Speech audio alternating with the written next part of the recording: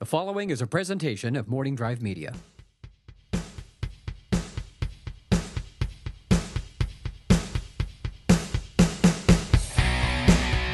Broadcasting live to tape from beautiful, sexy, steamy Studio City, California. This is the Napzok Files. I'm Ken Napzok, your host for the show, and this one is going to be, I think it's going to be a wild adventure. It's That's be my prediction. A corker. Is that okay? That's, fair income, mate. as you can tell by my guest accents, they were from Wisconsin. and I'm so happy to have on the show recent, um, I guess, I recently brought into the Schmoes Know family. Yeah. I've seen you guys in action for a couple years here now. Since I, I think we met at Com. You probably don't remember. We met at Comic Con in the No, Fox. Bar. You remember that? Yes. With uh, the Fandango crews, they Yes. edited over their food for their fifteenth hour. Yes. And you and I just met recently. So these these. These people here in my studio are Alicia Malone of Malone's Movie Minutes podcast website, et cetera, et cetera. Extravaganza. Hello. Thanks for having me. Thanks for coming on. And then I'm going to say it the American way. Mad Garrett. oh, that's so revolting. It's the ugliest thing I've ever heard. Maude Garrett. Maude Garrett. When I say it, it's like a, a fresh bouquet and It a cup of tea. You've got it. We we some honey. But when you say it, it sounds like someone Mad. shat themselves and they decided to rub it in because it felt nice. I'm just going to call you M. Yeah, could you? I, Em. do you know what? I. I, I tried to do that. I Yeah? was like, I'm moving to America. I refuse to be mad. Mad. So I'm going to say M. And when I introduce myself as M, they're like, so what does that stand for? that I'm like, well, Maude. Oh, mad. Maude. Damn it. So how am I? How should I say it right? So should I kind of move that? That's the thing. Maude- M. M. MG. if Maude we really want to be adventurous. Mad Garrett, who uh, created uh, GeekBomb.net. Otherwise, I'm Madmartigan. Oh, that's a reference to uh, a movie that we'll talk about later, I'm sure. Uh, and uh, GeekBomb.net, and also uh, the Hot Fix. Uh, what, what is it? Hot Fix. The Hot Hits. Hot Hits. Fix. What's going on with me? I'm There's, drunk you know, there's another show somewhere Yeah, out there called, called The Hot Hot, Fix, Fix. going, hey, the special. Yeah, hot hits radio. You've done a lot of radio, and that's I intriguing have. to me. A former radio uh, a hole that I am, uh, morning radio and all that stuff there. And you two, of course, have come over to us from Australia, and I've been around you guys socially in a short burst here, but I've already seen a bunch of jerky Americans mention everything we shouldn't.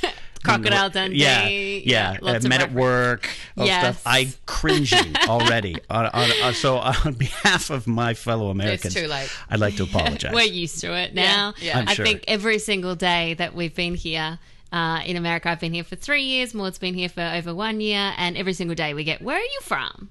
Oh my god, so I- adorable. I don't even eat food in public with a knife anymore. Just a fork. Because as soon as I pick up the knife, oh, that's not a knife. That's a no, mate. No, mate. It's That's uh, w- at, a, at uh, we were at Mark Riley's birthday party this weekend. Mark Riley, the editor in chief of schmoesknow.com, and someone actually did the uh, uh, call, called you guys British, which Yeah. I actually turned my back at. Well, I can't, I can't deal Get with that it. a lot. I got a. Yeah. headache because my eyes rolled so far back into my head. Yeah. Did. And there's another, we can't go into the backstory of that guy, but it was the same guy who had Yeah, caused some know. Earlier. Yeah. So it all fit in. And uh, you two, um, how do I describe your career paths out here? Entertainment reporters, Just killing it. pop culture, killing it. You are killing it. You guys, It's surprisingly we do a very similar job, but we kind of look at it as I, I guess it is similar when you think about it, but we do very very different things. So Hmm. Okay. Alicia is your movie kind of buff. She knows everything Yeah. about the movies. She critiques movies, um, and in line with that, she does a lot of celebrity interviews and the junkets. Yeah. Whereas I think I'm more of uh, the radio girl and television girl. So I did a Mm-hmm. lot of radio and television back home. I've been doing it for about eight years. Um, Nickelodeon yeah, host Aus- over Australian here. Nickelodeon. I saw that. yeah, Yeah. for years. I did. I started off in Nickelodeon. That's great. I um. I'm a Nickelodeon child from the '80s here, so that's like a badge of honor to me. That's like awesome. You know, you. did you ever get some Double Dare goo on you at any point? I no, I got. We did dare off actually instead in Australia, but uh, I got. I've been slimed. Been slimed? so many times, Okay. and there's secrets behind the slime, but it. I've retched That's awesome. more than once from that. from from from the slime. yeah, well, if you don't get it off straight away, it sticks and sets. Okay. Um, and it will cr- like ball, and so when you try and peel it it like off, acid? Is it like from a murder hole in a castle? Like what Yeah. are they doing? Come on, kids! Hey, it burns. Um, no, on the road, it's actually. Oh God, I'm going to be, you know, written out, erased out of the history of this. But No. on the road, it's custard. Really? Oh, custard green food custard. Green custard? No, food dye. Yeah, in the custard. Yeah, yeah, yeah. So when you get slimed, and I used to just like "Ugh," and eat it, and they're like, "That's gross." And you're Oh like, my God. mm, yeah, I'm that's sick of glad. custard. Um, but a lot of the time, you know, the the producers will throw a towel at me and like, "Great job, see ya," and I'm like, "What? I'm covered head to toe in custard, and it's setting, and it's and it's sunny, and it's going off. "Ugh." Oh, But gosh. television, Television. I love it. Anyways, that, uh, yeah, I, I grew up watching. You can't do that on television. You know, uh, on Nickelodeon. Which I is get a some water? Yeah, exactly. Mm-hmm. Um, so. So continue describing your career, radio girl, TV girl, Mm. but we would e- easily confuse it as the same thing. Yeah, here, well, right? we do very similar things, Yeah. um, and they overlap. So we will we'll both go to the junkets, and we'll both Mm-hmm. interview the same celebrities, and we both we're both sitting there in the line. It's hilarious. Um, but in the mine- hallway of shush. Yeah. because you you got to be quiet. Guys, the junkets. You're outside the interview room. I, You I want to talk about. I want to start there. Then the art of the celebrity interview and, and the junket, and the art of the, the set visit and all that stuff. I'm fascinated by it because you you know that these celebrities are doing about 50 of these a day. Yeah, up to a hundred, yeah. yeah, yeah. Oh, I'm being being modest then. Yeah. So uh, at, at some point, you have to get them when they're like, oh, God. Oh yeah. Oh yeah. time. I mean, sometimes you're scheduled through no fault of your own at the end of the day on say the third or fourth press day. Hmm. They've been asked everything. They're tired. They're over it. Sometimes it's great if you're the very last because they're like, "Yay, one more! I'll give everything I've got to you." That's what I had today. Yeah. Yeah, but sometimes it is just the worst and you're just dragging it out of them. And it's bad because they don't want to do anything interesting or different because they can't think anymore. just- They're Yeah. past that point. And you it's s- like speed dating with no result, but speed dating for like three or four days. Mm. I've never It's done that. You see their, you see their that. eyes glaze over as Yeah. well. As soon as you've asked a question, they're like, "Oh, I'll go into this answer." You're like, "No, come back to me." Yeah, Well, and do you can try to bring them into something interesting, but they just can't do it. Yeah, and going to your both your YouTube channels and kind of researching this and watching. I'm, I also watch both of you on Tick Tick Boom on uh, your Yay! guys' kind of co-webisode thing. Yeah. um, talking about video games and movies and pop culture. Um, you guys are so good at it. And I granted you're probably putting your best ones out. I Oh, for get sure. that, Yeah. but I'm sure you've had. I'm not here for the horror stories of bad celebrities. Mm-hmm. I'm here for the art of it because you're both very good at it, and it is not easy. Look at me, I'm struggling. You know, doing this little podcast in my bar sometimes. You guys, how how do you approach it when you see the eyes glaze? How do you get something good out of it? 'Cause you both get really great things hard. out I of mean, the thing is with me and Maude, we're both very, very different. Yeah. Like Maude for radio, Sure. it's all about her being a personality and Mm-hmm. getting something really interesting and funny and, and off topic with the stars. Me, I work for several different movie outlets, and sometimes I can work to up to four or five at a time. Mm. So they're expecting me to get certain things about the movie, but you want to make it as interesting as possible. You've So- got to you've got to toe the line. I got to toe the line. I've got to be fun and build that rapport with them so Right. that you can get something out of them. But at the same time, I know exactly what they need to edit for the package at the end of the day. You know, what the Foxtel Movie Channel needs and what Today Show Australia needs and which is- Breakfast on New Zealand TV needs. And they can all be very different things. And you've got four minutes Mm-hmm. to get a range of stuff. So when I see the eyes glaze over, you just try to up the energy, try to think of an interesting way of saying the same thing, mm. and just try and get that rapport. And the Australian Right. accent helps. I'm sure it does, and then you can just do a face off with Jim yeah, Carrey. exactly. Which is great for radio, isn't it? right, right, right. Uh, that one was fun. That's something that, that I mean, I have a personal bucket list. I mean, I'm not Yeah. working for anyone else in a way. I Mm-hmm. kind of am, and they're paying me. But for me, I want to try and get as much out of it personally as I Yeah. possibly can because when I'm excited, they're excited, and I think that that's my payoff. But Yeah. if, if I see someone slump, I will probably swear in my first question just to kind of set Just the to see. Because they'll, they'll be like, something in. whoa, or I'll say something a little bit inappropriate, and they'll be like, oh, cool, that's what we can we can let our hair down a little bit, and if you can say that, what can I say? Going like going to the radio thing. My my uh, good friend Lou Santini was uh, in the Rock and Roll Hall of Fame with the WMMS and Cleveland radio team. So we talk about this all the time. He was successful um, by sometimes he tells a great story of, of Darius Rucker during the height of the Hootie and the Blow, Blowfish fame. Came in for the 100th interview of that tour, and uh, Lou said, um, "I don't want to talk about music. You're a big football fan, right? Let's talk about Steelers and the Dolphins." And Darius like went, "Yeah," and stayed for like 45 minutes. So radio, you kind of have that. You can kind of come in from left field and kind of throw a curveball. Is that? Do you intentionally try to do that? Try to find the humanity in the celebrity, like the little moment where they're like, "Oh God, that's funny. Let's have fun." Yes, Yeah. absolutely. That's my point. I mean, you have to be so likable so quickly. Mm-hmm. Um, and a couple of people that I've interviewed, they don't want a bar of it, and they look me up and down. And They're just like, "Oh, who do you think you are?" And I'm like, "Right." and there's a fine balance of going. I want you to see that I'm trying to impress you, but I'm also wanting you to know that you don't have to like me and I don't really care, but we've got a job to do. So it's that kind of fine line. Um, Where Alicia begs for their affection my and love. no, she she plays the nice girl card. She's the most lovely girl. She comes in, her she's glowing, big smile on her face. She's a vision. Everyone's like, "Wow, whatever you need, I'll do it." Me, it's like, um, "Come on, hey, let's talk about the time that you farted loudly." You're, you're- yeah, you're a ball of energy, and you're yeah. but you- you're right because your description of her is right. When I met you at that Comic Con thing, Yeah. that's craziness at Comic Con, as we all know. And you Yeah. were just kind of this calm, polite, like, "Hi, nice to meet you. How you doing? Here's my card." Your card, by the way, I remember was so thick I could use it to kill a man if I needed yeah, That's it. right. Yeah. Double bonded. Yeah, so it's right. So you get to Patrick come Bateman in. would love it. Yeah, yeah. Throw down the card. Uh, that's a reference to a movie, American um, Psycho, which you haven't Psycho. seen. I went to the other night, but And I told you no, it's in your safe bubble. Don't see it. You, I- uh, you your would safe pop- bubble. It will pop your bubble. yeah, I have a safe bubble where I don't like bad things happening. So In when especially movies. yes, if a movie goes takes me to a dark place, it pops my safe bubble. Well, and So she'll often ask me, like, will this movie pop my safe bubble? Yes, it Well, will. that's Stay fascinating. away. Hold it takes on. Me a day or two to recover. Where does this come from? I don't know. Where does this safe bubble come from? I don't like horror movies. I've never. I'm really... with you on that. Oh God, I hate Yeah, I'm, that. I'm scared of horror as well. Yeah. But I probably have more of a tolerance than I just don't. I don't like being scared because I get scared. So at midnight, I'll be like, okay, I can't go into my own room. Yeah, so I totally get you on that. But I'm scared of the dark. I'm scared of ghost stories. I'm scared that there's Oh, something yeah. under my bed. Like, She's scared of disturbing things. Recently, I took her to see Under the Skin, Mm-hmm. the Scarlett Johansson film, because I love experimental cinema. So Yeah. I will go and see everything. And that is an alien movie, and it is freaky. And I knew that she would She- probably hate it, but I was like, drag her along. and just watching her face during it was the best. did you lie to her? Have you ever lied to her about the safe bubble?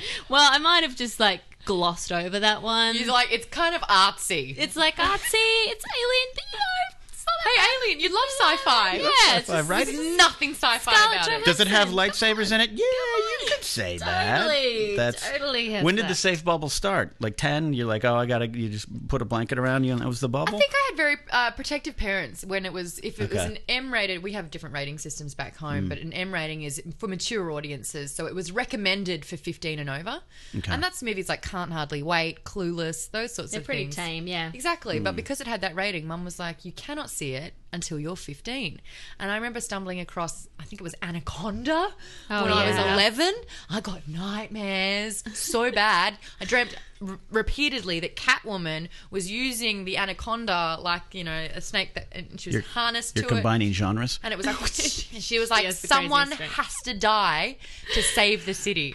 And they all, all the city members, they pushed me forward, and I had to die. I tell Maude she should write a Yeah. book of her dreams I was because gonna ask every you that. morning she comes into my bedroom, we You live will together, never believe it. and she tells me her dreams, and they are the craziest things, but really inventive. I'm fascinated by the safe bubble thing because I, I, I was raised by a, a very conservative uh, Christian family, so I, I have that's part of the reason I haven't seen a lot of my movies growing up in the 80s because I was like I can't see the gremlins, they're little devils, so I just haven't corrected the problem. But so because of that, maybe I became afraid of a lot of things that were scary. Pee Wee's Big Adventure, one of my all-time favorite movies, Large Marge, still to this day, I kind of like, oh, what time is it? Oh, over. Like it's it, it's a sense memory too, Yeah. so maybe I need a safe bubble too. I mean, I'm my own worst enemy. Like, I start thinking about all the worst case scenarios and Yeah. I play them over and over in my mind. And in reality, when it actually happens, I'm like, oh, that wasn't so bad. But because I'd pictured every horrid thing, it was so much worse in my head. I I was forced. My ex girlfriend forced me to watch uh, the Mist, the Tom Jane Oh, yeah. Mist, and I was like, I ain't gonna. No, no, I'm just gonna concentrate on this hamburger I'm eating. I'm just gonna. And then I got so into it, and I got past the the fear. Yeah. And it's one of my favorite recent movies. I won't call it an all time favorite, but it was like it's so. I had such an enjoy. Maybe because I was proud of myself. So maybe that's maybe we'll we'll. I have to get out of the desensitize bubble. myself. Yeah. Yeah. I just have to, like, watch more. No, I will never watch that movie again. That was that movie made me very sad, Oh, I very loved it. upset. It's great. I was broken. You were broken Talking about under the inside. skin Yeah, but it mm. was very Kubrickian. I loved it. because you like cinema. Yes, I do. Well, see, I have no safe bubble because my dad showed me Psycho when I was really young. He was a huge Hitchcock fan. So he introduced me to all those classic movies really, really young. And I quickly learnt about, you know, more the art of cinema and how. And then I try to try to use that with horror films. I get scared still, anything Yeah. with a ghost or a demon, but I kind of can see the art of the movie making and how they're constructing constructing the movie to make you feel Yeah. that way. So then that makes me less scared. And and you are that's what I, I love about you both. You both are very very credible in your own uh, genres of, of passion, uh, passion genres. As I knock my own mic down, I'm, I'm passionate about this. You You know, I mean, you you, you are, are a video gamer. You're a gamer. I'm a You- and You're real, and and Yeah. you're you're Yes, not just gamer. like oh I like I like movies. You're like like I jokingly say cinema, but you Yeah. really love that. So your father sat you down and was like, Yeah, I remember him pulling me out of bed. We used to have late night movies on Saturday or Sunday nights on TV, mm-hmm. and they'd be on the the sort of foreign channels, the weird ones. It'd be all black and white movies, and he would drag me out of bed and be like, "Sit down, you have to watch this. This is why Hitchcock is great. Check out how he did this, how he did that." And I was like, I'm tired. But then that grew my love and, and fascination for film. And you in uh, school over here, what we call Oh, elementary school, I don't know what you call it over Primary back home, primary. You started a film. You were the president of your own club that you founded. Yeah, I made my own club because I was outraged when I talked to all my friends and people at school that they hadn't seen all these classic movies. I was like, oh my gosh, how have you not seen Breakfast at Tiffany's? How have you not seen Citizen Kane? Like, I haven't seen Citizen Kane. I know it's, it's Breakfast a at very Tiffany's is a great song. film Um, snobbery thing to say. But I was outraged. Or even things like The Breakfast Club. You know, a lot of people hadn't seen that. So I was determined to, to change I love things. this outrage. Do you picture her as like a kid going, Oh, yeah, yeah. I was shaking my fist. Fist. Get off my lawn. I am now the president of my own Yeah. club. So I created the film club. I found this old badge that someone had discarded and I put white out on it, like uh, blacked it out. Then wrote president film club. Naturally. Wore it every day. And then I used to book time at assembly in front of, you know, 150 to 300 students, like, however many there were. I can't remember. There was a lot. I'd get up and I would make a passion speech about why they should join me at the film club. And I made posters and I stuck them all around the school. About two people turned up No. on average each time and then eventually the school principal called me into the office and said we can't have you getting up in assembly anymore that is for proper school notices You That is can't not filibuster for-" anymore. yeah it's not for the film, film. club just talk at, in you know in the oh. common room or in your little areas You're like the Tracy Flick of film love. I was. up. I was like that. buttons and everything. election Uh, you guys mentioned. Uh, you, oh, you've seen that film? That's I've one of my. I've, I even read the book. All right. I'm one Yeah, those Alexander guys. Payne. Yeah, He's so absolutely. great. Um, you guys mentioned you, you you live together, and obviously because of the connection and your roommates and everything. What I was surprised to learn is Yes, you, we're lovers. You, well, naturally, right. Um, well gotta stop things joking. get lonely well, see, but see, in in LA, in LA, it's so you're so used to seeing people uh, just have roommates. It's like it doesn't. no, there's no questions anything, raised. It's just like you know, oh yeah, because the rent's so high. Um, but I was I was a little sur- not surprised to learn, but uh, interested to learn that you guys kind of met over here. You may have bumped into each other over there. Mm-hmm. I, I obviously it's a big continent. It's not like you all hung around in a circle like, hey, you want to go to America, but. But there is only eight people in Australia. That's what I heard, Yeah. according to uh, um Wikipedia. So I want to talk about you guys making that choice to come over here, finding Uh-huh. each other as friends and everything. That's big to me. We uh, we talked about how I came from uh, my hometown is Pismo Beach, California. Yeah. That's a mere two and a half, three hours away. I cried half the journey down moving to LA to chase my dreams, leaving my mom, my dad, and my dog. Oh. So you guys to travel across the world, take me through that. Take me through that decision. Well, me and Maude used to see each other all the time in Sydney. We both worked in TV, as you mm-hmm. mentioned. Maude was in Nickelodeon, working mm-hmm. for that Nickelodeon, and I was working uh, for a Movie Network Channel. And we would talk all the time. And I remember saying to Maude that I was thinking about coming over, and you were really supportive of it. Mm. So mm. basically, I just had an epiphany one day. I w- s- sounds pretentious, but I was in Paris doing a writing course. croissants in one hand and a second someone, hand on the other. someone who started their own movie club and named this. Uh, this is not shocking to me. Oh gosh! So uh, back then, I was a producer, editor, and host of a couple of film shows, and I did Mm-hmm. it all. I did everything. I wrote the scripts, I edited.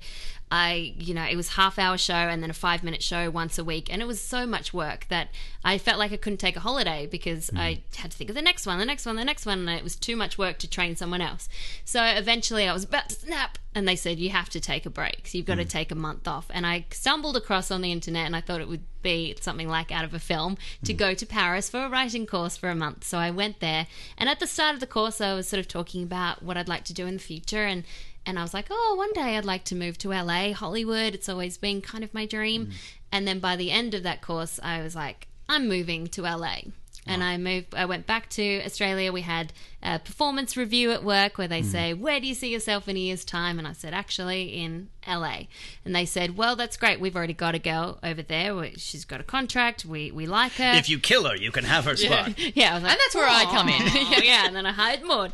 Um, and I said, that's fine, that's fine. I totally understand, but I'm just going to go. And I know that it'll all work out fine. So then I remember seeing Maude, and she was like, yes, this is a good thing. Go, go, go. Three years ago, so I packed up two suitcases. I didn't know anyone over here. I didn't have any work leads at all. I Had quit here before? everything Visited holiday once for two days and I hated it because I thought it was going to be super glamorous and I wanted to do, you know, the Star Homes tour and go on Hollywood Boulevard. I was really young and it wasn't glamorous. There was a homeless guy outside Yeah. the Kodak Theater.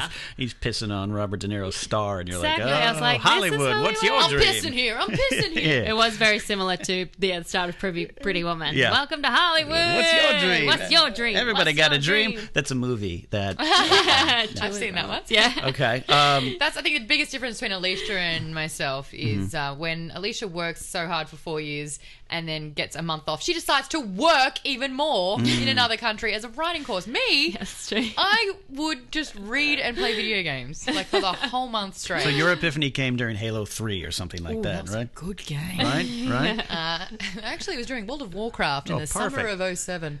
Um, for me, it was, I think I hit my seven year itch. So I grew up in Queensland, Okay. moved to Sydney to um, pursue television, which I think I got the job before I moved. Irrelevant. Did that for seven years, and I did the same thing where Hmm. I heard a lot of my friends go, I think I'm going to move. And every time I was like, do it. What are we, why would you stay here? And then it was like, look in the mirror and just say that to yourself because I wasn't taking my own advice Right. to pack up everything. For me, it was about contacts. Hmm. I'd made eight years worth of contacts here, and it got to a point where I was between jobs. I decided hmm. to remove myself from radio, hmm. and I got invited to sit front row at Fashion Week. And I was sitting there as these, you know, clothes haulers were walking down the aisle, and I felt hungry. Um, but I was like, I'm technically unemployed, and I hate fashion, but here I am at Fashion Week, and I was like, Sydney, right? yeah, and I was like, oh wow, I need to get out. I need to be doing You need to something. Take Um, that bold move. Yeah, and I think that was the catalyst for me, which was so odd. Fun Yeah, but it was lucky you got uh, the position right before you moved over here. so yeah, I came over here. I It did. all worked out. Unlike Alicia, I did two trips uh, completely as a recce, uh, which is to see whether I wanted to move here. So Right. for two weeks at a time, met up with Alicia, was like, right, give me the, la- the lowdown. Where would I stay? Where would I live? What would I do? And I wanted to crack the video game industry. And I remember talking to the heads of um, G4 television Right. and um, did my pitch. I was like, I'm a gamer. I've got heaps of television experience. I'm legit. Let's Yeah. do it. And they're like, so say we weren't going to be doing games. what show would you do? And I was like, um, I'm wasting everyone's time if I try and pretend that I want to do anything but Right. video games here. Thank you. Um, but yeah, I ended up doing a job for um, a company back home in Australia, and they're like, "What's up?" And I was like, "Hey, I got my visa. I'm going to move to America. I'm going to try it out. I'm going to be one of those people that's chasing a dream." And they're like, "Hey, do you want to chase it with a job?" And I was like, "Yes." Wow, yeah. And that's the Hot Hits Live from LA. So I replaced a veteran radio host who's a good friend of Alicia's. Yeah. Hmm. Mm. Uh, big shoes to fill, and uh, I've been doing that ever since. That's great though, but t- I mean, it sound that that's wonderful stuff. Paris and epiphanies. Take me through the fear of that moment. Yeah. You're getting on the plane. Yeah. Well, I've lived away from, Alicia's the same. We've lived away from our parents for a long time, mm-hmm. doing the mini move from sort of somewhere in Australia to Sydney, Yeah. which is like the Hollywood of Australia. Okay. So that, I mean, when you get used to that, it's no different. Skype, I can do from Sydney or here. Yeah. Honestly, I think I've got a closer relationship with my family hmm. being 14 hours away. I guess that's just I'm just too old. When I left, it was like I'll send you a letter. I remember, yeah, I was I was pretty scared at the airport when I was saying Yeah. goodbye. wasn't sad to leave, but I was like, oh, what am I doing? I've got no Yeah. plans. I've got hardly any savings. I don't know anyone. What am I going to do? Um, but I somehow I knew it would be okay. And then I remember being in the airport line going through security, and uh, the security guard was like, "Hey, uh, I recognize you. You're you're that girl from from the thing, the movie thing." The Thing no one do. ever rec- recognizes me, so I was like, "Yeah, yeah, that's me, the movie thing." And I was like, "Here I am. Look at me go, being recognized. Off I go to Hollywood." I was like, "Yes, I'm moving to Hollywood today to chase my dreams." And he was like, "That's great. I'm going to tell everyone that you were here." And that you taking your teddy bear to Hollywood, and I noticed my teddy bear going through the security. I was like, You yes. took your teddy bear. teddy See, bear. that makes sense. I had to take something. You, you had to hold that. on to yeah, that. I had to hold Well, on. I mean, I, I and I hope you pause and give yourself both credit for making that big move. A lot of people, Yeah. all my friends from high school that I know that are, that have that are called me on the phone, and I'm not successful out here by any means, but I've been here for 16 years on my own doing my thing. That's and successful. They'll, they'll be like, yeah, define success. You know what I mean? Just because I'm not in those Not homes. going home with your tail between your legs. And Right. that's the definition of fear. It's that failure. It's not being able to last another week, whether it's financially, emotionally, or whatever. But you have to come home and face all of those people that you said, mm-hmm. I'm out of here. Right. Fuck you all. I'm going to chase my dream and I'm going to nail it. So to then come back and be like, so it didn't really. That's that's the, the the I think the crux of fear. I So- think the scarier thing for me mm. was staying and doing the same thing rather than not leaving. No, no, and that's where where I come from. Look, Yeah. from my hometown's a kind of a smaller hometown, so a lot of my friends have done the grown up, get married. Some of their kids are graduating high school. That makes me feel so old. But um, and that's their lives that I don't judge, and I'm happy about it, and I'm happy for them. But for me, that's not what I wanted, and I didn't want to stay there doing the same thing over and over at my radio job, doing hey, come on out to the farmers market. We're giving away tickets away to Jim. Tickets to what? Yeah, ninth caller. Call one 549 bear. You know that's what I did Nice. every day, and it wasn't fulfilling. So Exactly. taking that leap. I yeah. kind of got, I'd worked my way up to being the number one spot on the red carpet Mm. and getting into all the press junkets, but it was just the same thing. So if I went to another TV station and was their movie girl, it would be the same thing I was doing. Right. So I had to take a leap. At the end of the day, there's two types of people: those that are content and Yeah. those that are constantly chasing. those that take a month off to go work in Paris when they're supposed to be vacationing. I should have six kids by now if that's the case. Um, but yeah, you know my parents have been married since they were 18. They love where they are. They love what they do. They're so happy. Right. But I would kill someone. and then me, it's like I've, I'm going. I'm in Hollywood. It's like I've got a job. That's great. What else? Yeah, What's next? Yeah. You know, and even if it's like I'm dating a really great guy, he's so lovely, but who else? Yeah, and that's the curse of it all. But it's That's never, it's the never being satisfied with what you have because you're always looking over your shoulder All for right, let something me get better. a, my card for my therapist. You might want to good on Uh, relationship trust stuff me, I have been single for many years now. because of that attitude. You've, you've you've met great guys, and and then you've just been like, well, there's probably a greater one. No, there's always the the ones that I like don't like me, and the ones that I don't like at all are obsessed. You're like Sir Jorah, but a female version. I am not friends. I am so friend zoned.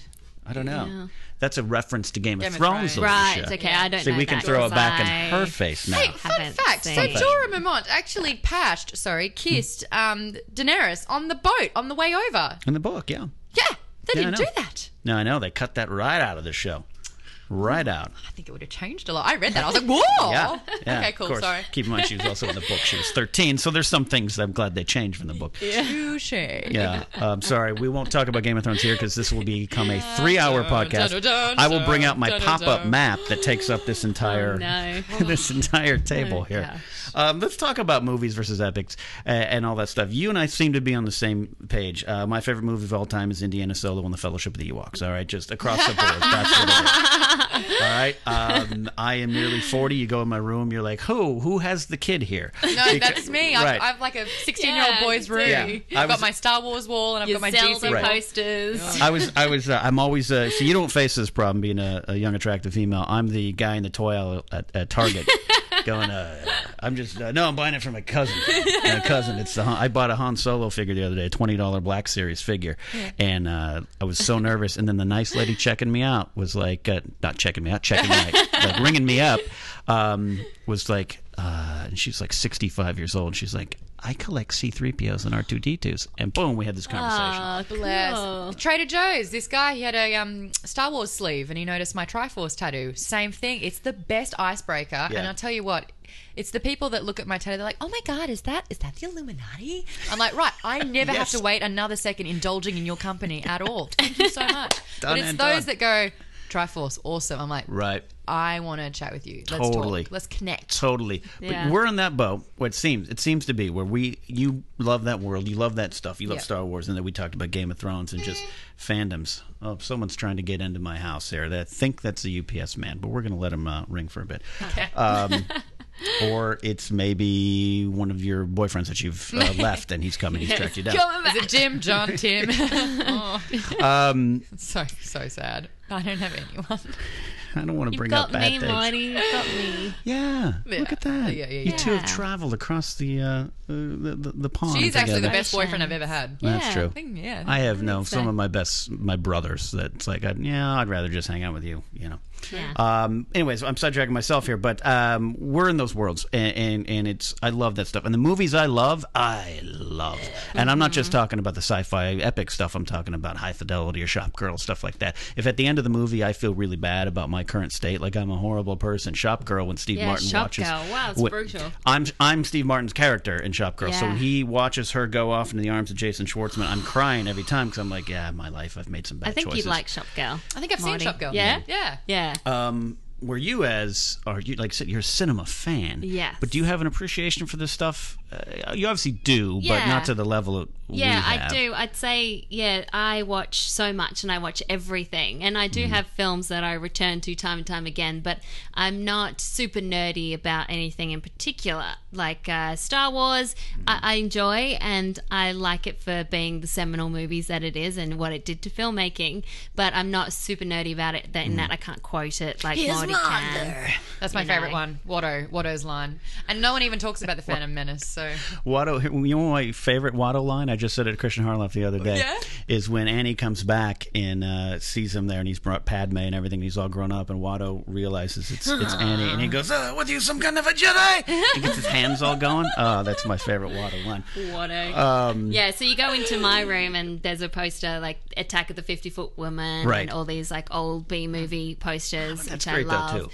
And then, yeah, Friday, Saturday night, I love nothing more than just watching some movies on Netflix. And that's the that's where we differ big. Is I got two hours. Uh, if I'm not going to flip on some pro wrestling, which is an industry that I'm in and also uh, a passion of mine, Yeah. um, I'm outside. see this? Yeah, no, John Cena, very good, very good.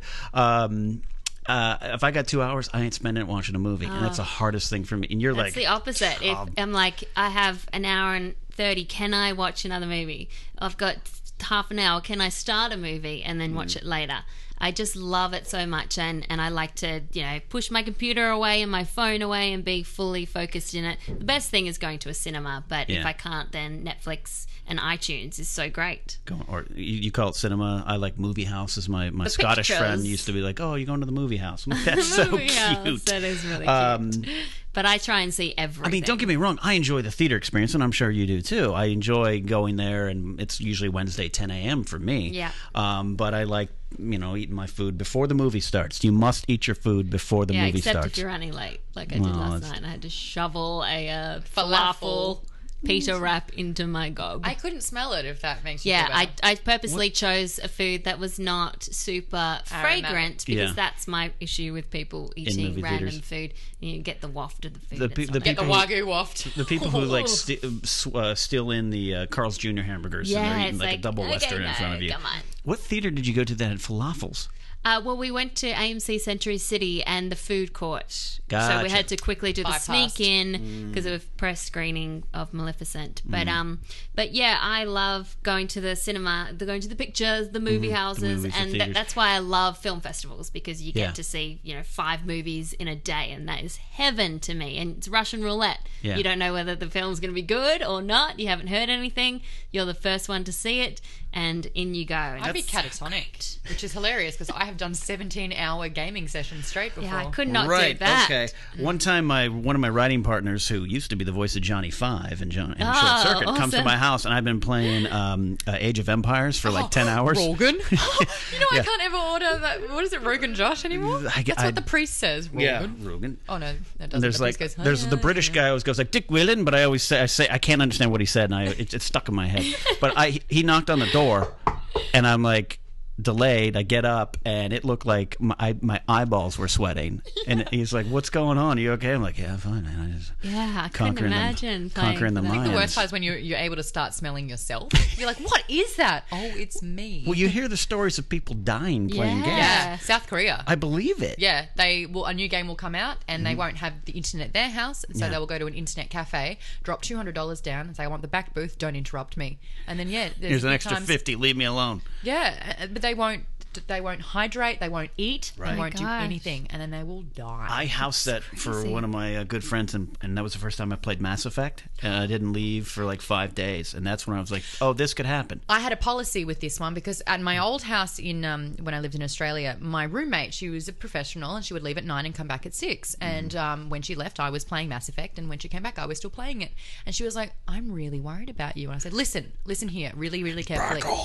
I'm not saving the world." I'm saving the universe. And that's really important. And I need you to respect that. And so Alicia's had the same thing where she's like, Are you still? I'm like, ah! She's like, Yeah, I know, I know. You're saving, Saving the, the universe. And, I- and that's why we're super exciting because you come over to our place Friday, Saturday night. We're like, should we do something? And she's like, I really want to play Elder Scrolls Online. I'm like, there's a new documentary I really want to watch. I love the reality of See these ya. two beautiful young foreign Bottle women wine, in and off we America. What do you do on Friday nights? Well, uh, I'm playing poker on Red Dead Redemption, and I'm watching a documentary. Spoke about that today. Yeah. Friday night used to be my Black Ops 2 night, and I would have a whole bottle of wine to myself. And I would Oh, get that's great. better the more drunk I was. And I would be like, you know, four glasses in going, I just see that headshot. And of course, you know, I'm, I'm online and there's Oh, people in the lobby. And Twelve-year-olds in Europe or yeah, something. oh, this is the best game, guys. And that's why it's good having both of us do the similar things because you don't feel too can do it. sad if someone Yeah. else is doing it too. Right. There was a time when I, I lived by myself and I did that. And Yeah. I was like, I think I have It's- a problem. Yeah, this exactly. this past Christmas, um, for various reasons, I said, "Screw it, I'm home alone. Christmas. That's it. No family, no friends, nothing." That's a movie, apparently. Um, woke up, showered, had some breakfast, sat down, turned on Red Dead Redemption. I'm like, I'm going to revisit this game. I got up at one point to get a hamburger from some fast food joint. That's all I remember. And I, like 2 a.m., went to bed. That was my Christmas. And people were like, You should have told me. I would have invited you. No, don't you? I, that's what I That's wanted. what you wanted, hibernation. Turn it off, lock off. Yeah, well, sometimes you do need to escape, and that's why you Mm. know video games and movies Mm-hmm. are so great that you can enter into another world, someone else's life. Go Fem on. Is so, so much cooler than I am. Yeah. Fem Shep, are you kidding me? She's like a commander of. She's a specter. She's saving the universe. I like her. Did you play Dude Shep?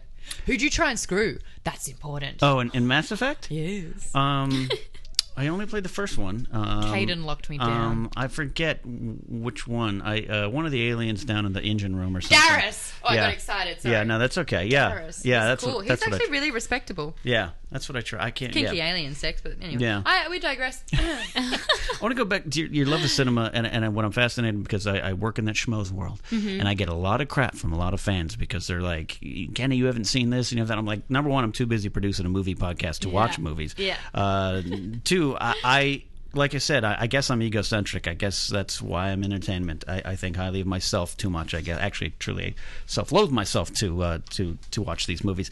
Where I want to watch something that is about me and how it makes me feel. You Right. seem to be able to turn, and movie fans in general can turn a movie on and just get into the the art of the cinema. Yeah. So t- take take me through that process. You see a movie, you have no idea what's going on. You just walk in. I'm gonna. I like the title. I'm heading in. Yeah, I like, yeah, I just check out the title or who directed it, and I like to go as clean as possible in that I try to stay away from trailers, but of course it's so hard when you do the jobs yeah, that we job, do yeah. when you have to talk about it. But when it comes to the indie films or the Mm-hmm. art house movies, I try not to know too much and just go in there.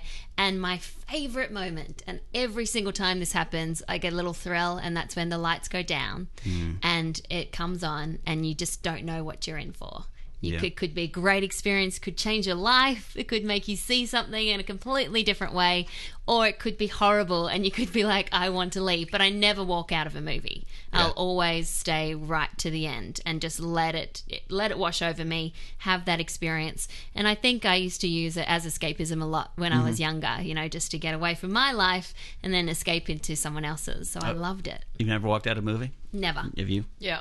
Which one? Step Brothers. I made a point to do it as well. I was running late and I double booked, so I had to leave. But I remember getting up being like, "Oh, I cannot stand this." And I was like, "Are you kidding?" That's the only time.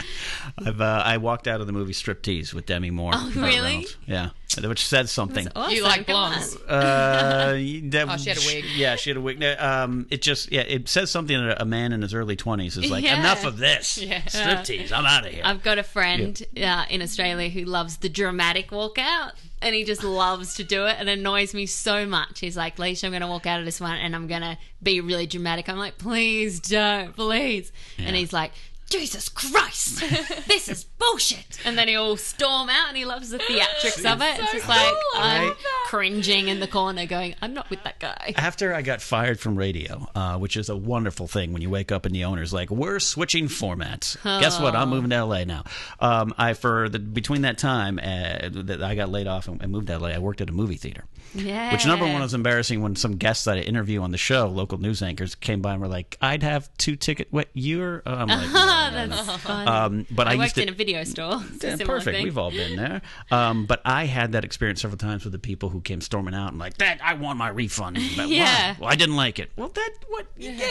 Yeah, I had that it. Mm. too with, when I worked at the video store and people would try and bring back movies and, and get like refund. But back in those days when they had VHS tapes, you could Mm-hmm. see that they'd seen the whole thing. You're like, you've watched Oh, yeah. to the end. It's uh, at the credits, and now I have to put in the rewind machine. I always had to rewind it before you put it back. So wait a minute. If you brought the tape and it had to be like stopped in the middle, like you couldn't Yeah, like rewound. I, I would. I'd give some leeway if it was stopped in the middle or towards the start. I'd go, okay, you didn't really like it, so I'll give you your money back or a free movie instead. And then also working at the video store, I had to call up and ask for late fees, and it was hilarious when it was something like a soft core porn movie that they had. Of course, they didn't have full on porn movies, but they had things like Edward Penis Hands. I remember Right. having to That's call not up full about on. that. That's not full on. Yeah, well, it's just more like suggestive Gotcha. than anything else. But uh, I remember having to call and ask for that one because they had late fees. I've got another thing I want to bring up, and you just Yeah. mentioned it when we launched into this. When it was like, I feel like you know, you have you get uh, chastised by Mm. the film fanatics for not having watched a lot. I don't feel like you can ever really live up to the expectations. Let's of these defend people. ourselves right well, now. I just Yeah. think, and you were saying this as well. It's like you Mm-hmm. know, Alicia cops a lot because she blatantly says, "I'm not about comics. I'm not about the geek stuff." I Hey, never have. Everyone likes that. That's really cool. That's not my jam. Yeah, I can talk about all the comic book based movies from a film perspective, and I do love a lot of them. But I, I'm not about to start reading comic books uh, just because. You know, I never did. There's nothing wrong with that, but I just never got into it. And that's, that's totally respectful. And Yeah. you've got mine, which is like, oh, I've been gaming since I was a little kid. Oh, then you would have heard of this, this, this, and this. Well, no, I didn't play that one. Well, why not? You're a gamer. And it's like, yeah, Yeah, you get tested. yeah. Yeah. And I think that that's happening a lot more. And so, you know what? Yeah. Own it. If you haven't seen Right. these big movies, right. that's cool. Because Yeah, if you you, haven't- are the unicorn. That's exactly. right. And I say, I I definitely say, I haven't read this comic book, but from the movies, I can glean this. You know, Yeah. you try not to. Well, but- There's fake just so much out there that There if you is. had to be a, an expert on every single thing, then there is no way you're getting laid. You know, and sometimes you just got to Sometimes, sometimes you just want to, you know, your love of uh, uh, Star Wars, take it to a convention and see who uh, jumps on you. Right? That's. That's What are we talking about now? I don't know. I don't know. I think we're talking about Edward Picking Penis up Hands. yeah. Um, I agree, though. I agree, though. It's like uh, you know, there's so much things to see. There's so many TV shows to binge, binge watch now. That's you know a what I mean? lot of time. I actually feel guilty going back to a movie that I've already seen because I'm like, I should see something else. Mm. Yeah, me too. Yeah, and that's that's the hard I, I just part. watched uh, the rewatch for about the twentieth time the documentary Empire of Dreams, the making of the first three Star Wars films. I just rewatched it. and I was like, Actually, I had that haven't thought. seen that. That, oh, that would it's be interesting to me. It's spectacular. It actually makes you, as a Star Wars fan, remember that George Lucas at one point was, Was an absolute genius. genius. yeah. In all things, in all Yeah. things, uh, marketing and, and the business side of it too. Oh but, yeah, for sure. But yeah, there's so much out there, and and it's like I'll Well, get to it when I trying get to it. Mm-hmm. You know, the status at the moment isn't you know how how successful you are. It's how much you know, and knowledge is power. Yeah. But it's laying those expectations and those unrealistic expectations on everyone. Like as soon as you say, "Oh, I'm a fan of film," that's like, "Well, are you?" And it's Yeah. like it's not game on. It's Mm. And not I- competition. and I've seen, quite frankly, and I think we mentioned this the other night uh, at that birthday party, where I've seen uh, women challenged just because you claim to like something. I've seen it at conventions, comic shops. Yes. it's it's it's very prevalent still. Like really, like are you not plugged into this? I still get some friends. I'm like, yeah, I've head down to uh, WonderCon. Whoa, what's it? One of the things with all the nerds hang out. I'm like, you would be lucky to even talk to the girls who are over there. So thank you, goodbye, go watch football. But Exactly. you guys face it all the time, I'm sure, right? Yeah, all the time. I always get challenged about my love of film and especially about not being super into comic books or video games. Yeah, I get challenged all the time. But that. as the girl that is into video games, you know, I get challenged. It's that you are not allowed to look the way you are and Yeah. like what you do. And I think it does come down to 10 years ago, gaming wasn't cool. I was a closeted gamer. I Right. wasn't open about it because it wasn't accepted. Um, and I think that the people that did love it and did hone on it and made it them, they got bullied by people Yeah. that look like me. So Yeah. for me to then come around and go, oh, I want to be welcomed into your club, they're like, screw you. There definitely is that. I have some of that. Uh, I'm definitely. I never challenge. You know, especially when I two seconds on watching video of you both. I'm like, I wouldn't challenge your knowledge on anything and your knowledge on anything. Um, but I, I don't. I'm not that type of guy. But I, I, I did. You know, in, in fourth grade, I had my Return of the Jedi iron-on decal shirt and used to get made fun of. You know, so Yeah. I, I, I have a reaction like I don't celebrate May the Fourth because I'm like every day Star Wars Day in my world and has been since 1980 we were a fan.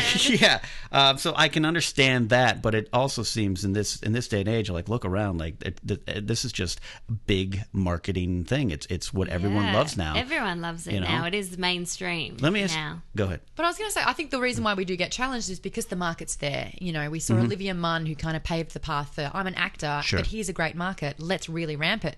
Yeah. Yeah, Um, let's yeah. cater to the geek. If And I that wear happens. A, Yeah. If I wear a t-shirt, Yeah. that makes me a geek of whatever I'm wearing. you And- have Yeah. a spectacular darth vader death star t-shirt on Thank right now very Yeah. much. and you have a save ferris cameron fry t-shirt on right Yeah. now But You I guys- think it's like I'm projecting this, therefore I am this. Yeah. And it's like you can say that you're something, but until you know your stuff and you can Mm-hmm. prove that, I think I was going to say before, it's like yeah, um, you need five seconds Right. to figure it out. But because there are people kind of going, this is a great market. I haven't worked for a bit. Maybe I could get a job as a presenter, knowing this stuff. Sure, yeah, I know about Mm-hmm. games. Yeah, sure.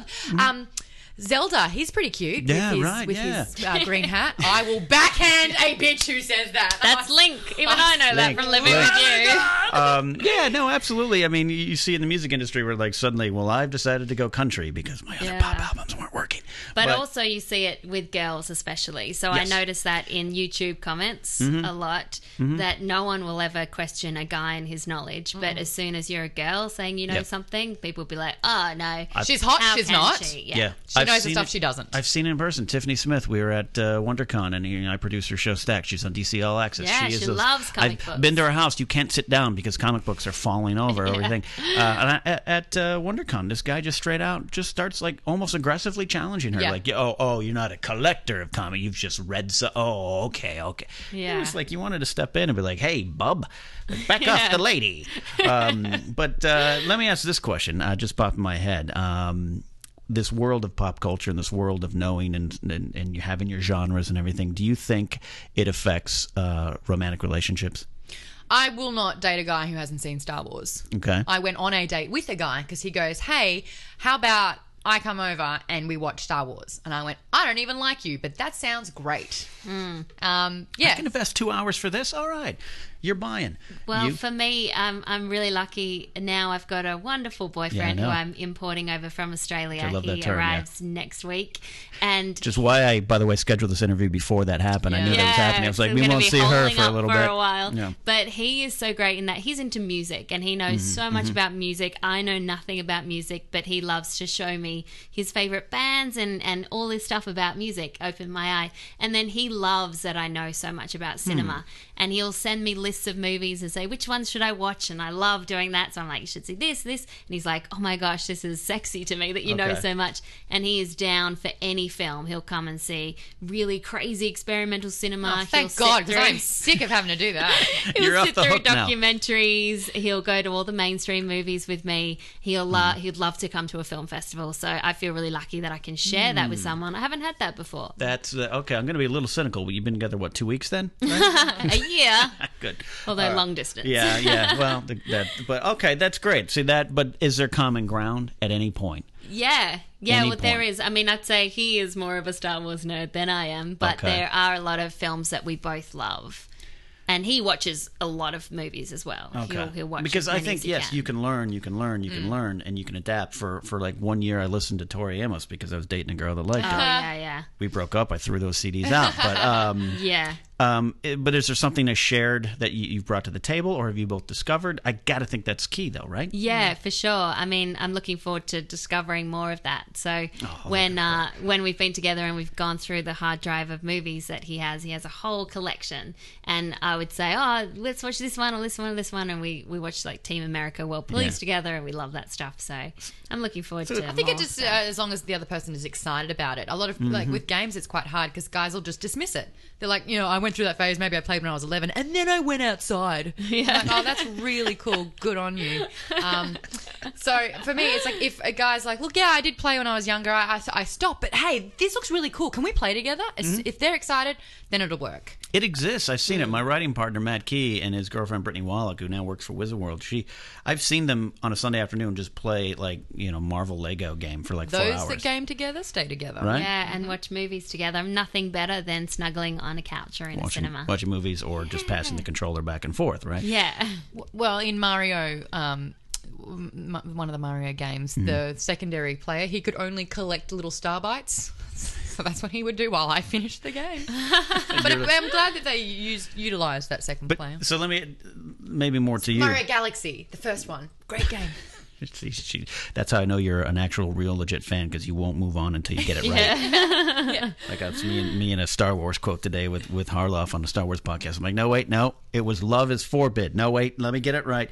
Um, do you go out in, into the world and seek men that that sh- know on the surface you have those interests? Because I, for me, sometimes uh, over the last ten years, you know, if, if I'm around a female and she says something like, "I've never watched Star Wars," it's like, eh, eh, Totally, I tune out. I'm done. Yeah. I check. Yeah, check out.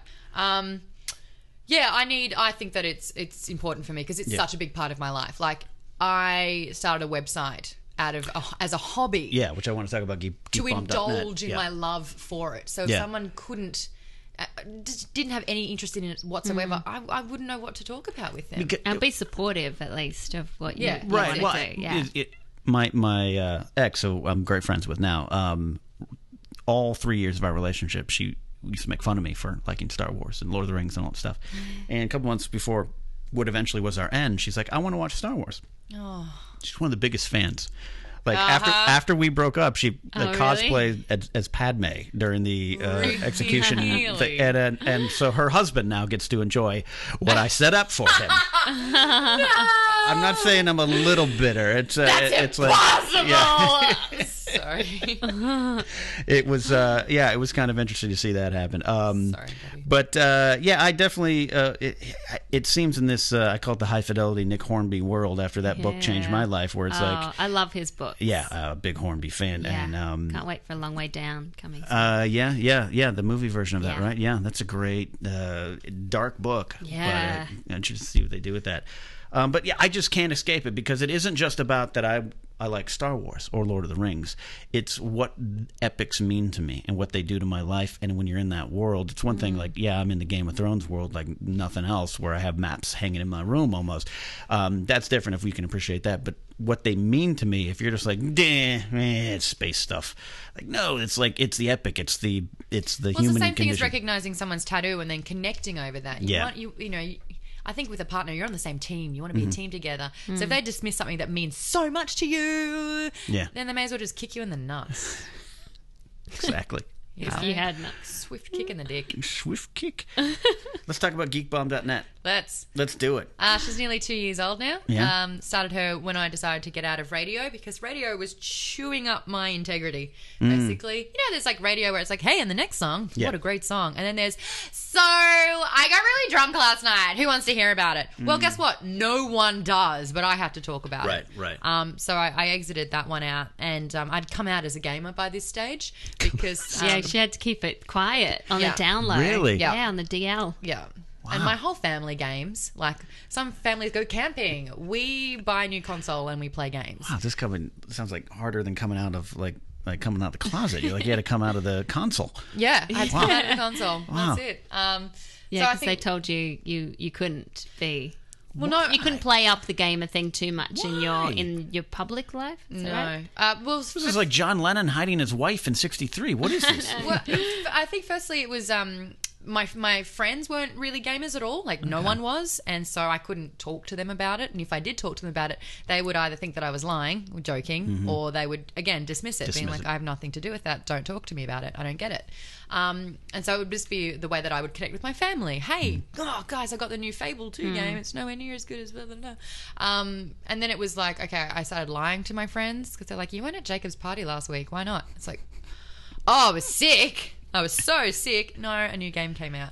Um, and then I realized that um, I wanted to kind of use the position that I'd created after Nickelodeon, which was a you know, role model for kids. Yeah. And use that to be like, hey, you know what? All of these, the stigma that playing video games is unhealthy and creates um, morbid obesity is bull. And I kind of wanted to go, you know what? I know this because I am a gamer and I'm not morbidly obese and I do have a social life and I can form sentences and I'm not a teenage boy locked in a basement.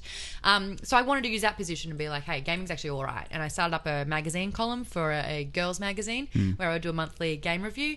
And um, I think it kind of went on from there. And then it was like, oh, you know about games? Do you know about this? And every time I would. And Yeah. then they're like, oh, cool. Oh. We'll go to Maude to talk about games. Outstanding. So then, out of that comes geekbomb.net, which is what? What do you? Uh, uh, you, you cover a lot of things on there, including books, right? Oh, yes. I'm a big book reader. Yeah. Like fantasy. Fantasy books. A little bit of sci fi, but mainly fantasy books. Um, Dragons. I love, Love dragons. dragons. I love dragons. I love dragons. love me a green Welsh. Um, so I, that's that's my my father was the one who introduced me to video games. To, to dragons? Oh, okay. yeah, I've got six back home. Oh, wow. Love them. Why would you have left?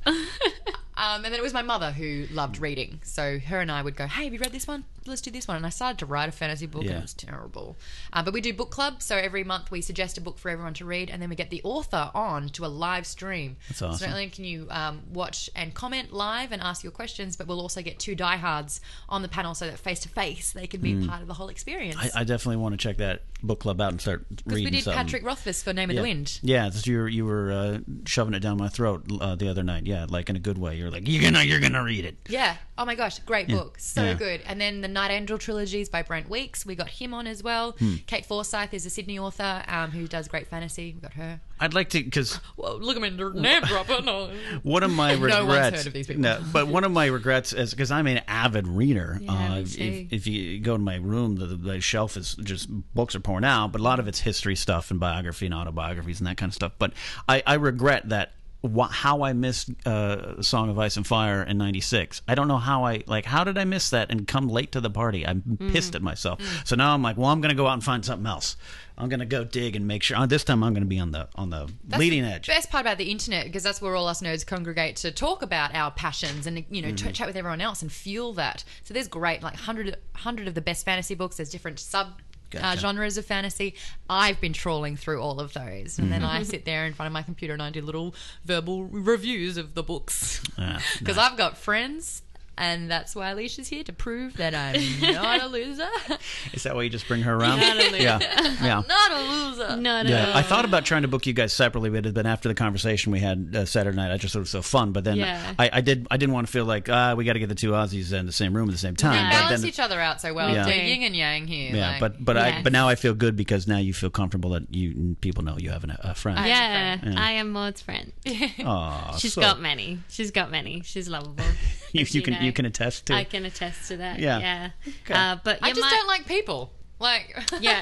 I- Yeah, I'm like that too. I have to teach her a few things about friendship. Like Maude, you're supposed to actually see people like Really? more than maybe once a month. If you is- want to continue a friendship, like that's what It's like I'm friends do. raiding. I have to quest right now. Yeah, and she's like, I just saw them. I was like, that was a month ago. But what could they possibly want to catch up on? For me, I'm like, I just liked their comment. Yeah. Like, I just, And I'm I like- retweeted them. I saw their Facebook status. I totally am up to date with everything they and I'm, you know, everyone's friend. So, Oh, yeah. especially people who move over here. That's uh, I, when Maude came over. I was like, I'm taking you under my wing. Oh god, it was amazing. That had to be valuable. She was great because you know she said that she rocked up by herself and had to completely path the the way yourself brave. on your That- own. That's nothing short of really brave. Yeah. You know that, right? Yeah. I mean, that's, come on. No, I. I mean, know I, at that. least had a high school friend who was over at CSUN Yeah. taking screenwriting classes, but No, the thing is about me is that I'm super nice and and very giving and generous and but amazing. And I I'm strong underneath. but you'll it kill all. a man. I will kill a man. I have a little warrior inside me that will make things happen. and I'm a hard ass bitch that's a romantic at heart. yeah,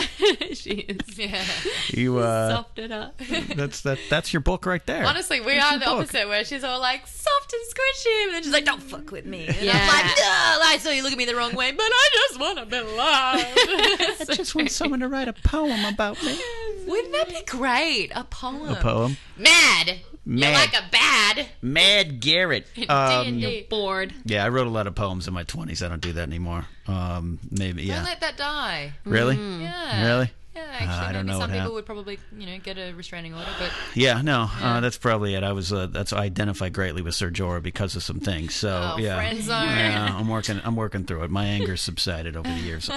Um, yeah. So well, this has been a fun hour, uh, getting to know you two and introducing you not only to the Napzok Files listeners, but in, in general the Schmoville listeners. Oh, they so have taken nice. to you two in such a, uh fantastic way. They love the both of you, and uh, there's been such a great addition to the Schmoes movie show and and uh, the growing brand that that is. So we're going to cook up some stuff. Uh, I hope that both of you want to Yeah. join for the ride. Yes. Um, you know, we, Yes. you know, we can talk Star Wars. We can do that all day I played long. Duel of the Fates when we were coming over here. She was conducting it. We, we In She the was car. in the car. Yeah. absolutely. And you know that's why sidetrack, sidetrack. We're going to be here for 20 more minutes.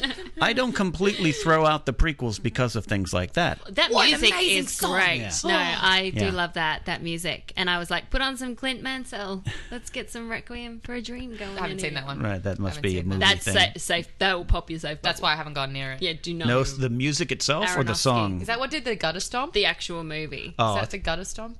I think so. Where they Oh no, no, that's American History X. Oh, do yeah, not curb see that movie. curb, curb, curb stomp? Yeah. Oh, Yeah, yeah, I that haven't watched is. that either. yeah, your safe bubble might, harsh. might burst during some of that stuff. Even Edward Norton, what are you doing? Oh, what's that him? God. Oh, I don't know. It's a it's a serious movie. Yeah. Um, but uh, this has been fantastic, and maybe we'll do it again sometime. We'll definitely see you around the Schmo world, and uh, we can talk Star Wars and movies, and I'll try to learn to appreciate cinema. Yes, please. And uh, maybe I'll play some new video games that I haven't played, and we can talk about it some more. Um, You can where- join my guild. uh, what? Oh, I can join your guild. I'm trying to get you onto that table we were talking about for D and D. You know, I should have brought my D20. we can we can roll a natural twenty. That term I learned because I did it once. I rolled a natural How twenty. good does that feel? So I when you roll a 20, it means that it means. anything that you're planning to do, you don't just nail it, you dominate it. Yeah. So it's like, Right. to say you're like, I want to jump Like over that. that, cliff, roll a 20. It's like, you didn't just jump over that cliff, you backflipped, and then Falkor the luck dragon came back and then gave you a little bit extra height. yeah. Falkor the Luck Dragon. You're welcome. I do Uh-huh. get that one, yeah. Where can they find you guys? Geekbomb.net, of course. Also on Twitter at At Maude Garrett, M A U D E G A R R E T T. and say it right, folks. Arr, Say arr, it right. And uh, where can they find your radio show right now too? Where, where can they go listen to it? Check out all my stuff at thehothits.com. You see a list of the celebrities that I've interviewed that week and all the stunts I've been pulling. I actually don't do stunts. Who does stunts anymore? Just faces. Yeah. Wacky morning stunts here. Yeah, video diary. We got traffic and weather coming up, and then Maude's gonna head to the beach. Maude. She's gonna be hiding in a box and saying weird things. cans of Coca Cola. Mm-hmm. What was it? Yeah. Ice Ice Coke cans, Coca Cola.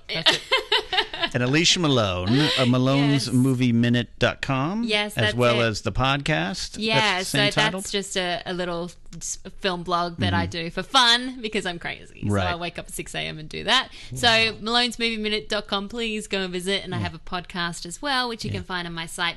And then you can see me on AMC Movie Talk, one of the team with Kristian, Yeah. Mr. Harloff. The whole crew and, there. Um, all over the places. I pop up everywhere. And uh, Yeah, on Twitter, literally. at oh, on Alicia Twitter, Malone. yeah, uh, at Alicia Malone. Outstanding. Uh, ladies, this has been uh, an absolute joy getting to know you here and uh, hearing all about your loves and passions and your bravery at coming to this weird country we have. And My axe. and my axe. uh, so Surprising how often that can slide into conversation. it really does. It really and you shall does. not pass. Yeah. Oh, that's Yeah. a fun one. That is Especially when one. everyone walks on their mobile phones and no one looks up anymore. That's a doozy.